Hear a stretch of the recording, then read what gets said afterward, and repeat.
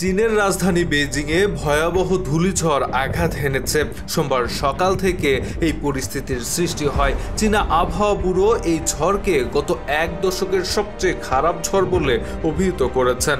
আন্তর্দেশীয় Mongolia ও চীনের উত্তর পশ্চিমাঞ্চল থেকে প্রবল বাতাসের সঙ্গে আসা ধুলোর কারণেই এই পরিস্থিতির সৃষ্টি হয়েছে।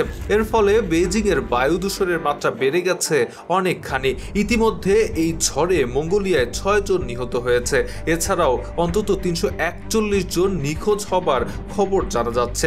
চীনের আবহাওয়া অধিদপ্তর নাগরিকদের সতর্কতামূলক পদক্ষেপ গ্রহণের অনুরোধ জানিয়েছে। কর্তৃপক্ষ বেজিংয়ে হলুদ সতর্কতা জারি করেছে। আন্তর্দেশীয় মঙ্গোলিয়া থেকে আসা ধূলিঝড় বেজিংকে ঘিরে থাকা গানুস, সানজি ও হুবেই প্রদেশে ছড়িয়ে পড়েছে। এর ফলে শহরের সকল অধিবাসীদের বাইরে কাজ পরিহার করার পরামর্শ দেওয়া হয়েছে। বালুঝড়ের ফলে হঠাৎ করেই চীনের বায়ু দূষণ সহনীয় মাত্রার চেয়ে অনেক বেশি বেড়ে গেছে।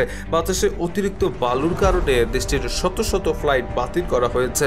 শহরের প্রশাসন স্কুলগুলোকে বাহিরের খেলাধুলা বন্ধ করার নির্দেশ দিয়েছে এবং যেসব নাগরিক নিঃশ্বাসের সমস্যায় ভুগছেন তাদের ঘরে থাকার নির্দেশনা দেওয়া হয়েছে। মঙ্গোলিয়া থেকে আগত শক্তিশালী বায়ু প্রবাহ এসব বালু বয়ে এনেছে। ঝড়ের কারণে ইতিমধ্যে মঙ্গোলিয়ায় ছয়জন নিহত হয়েছেন। নিখোঁজ রয়েছেন তিনশো একচল্লিশ জন।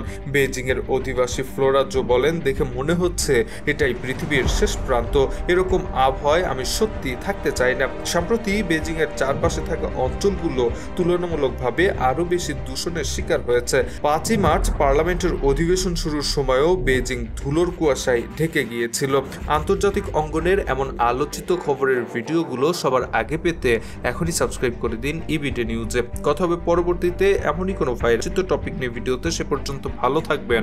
ধন্যবাদ।